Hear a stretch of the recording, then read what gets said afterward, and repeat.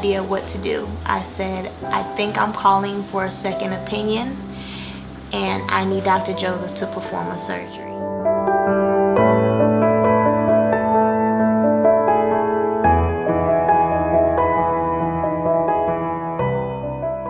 So the people here in Grand Rapids, Helen DeVos, they sent the airplane out to pick up Lonnie and, and baby Elijah. And me and my mother, flew the following day.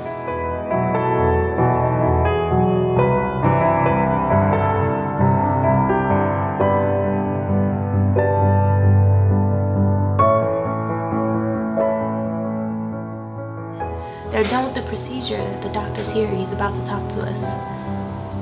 And we had to run upstairs. it was like, look, we both looked at ours like, already? Like, oh my gosh, what does this mean? It went too quick. We came into some smiling faces, so.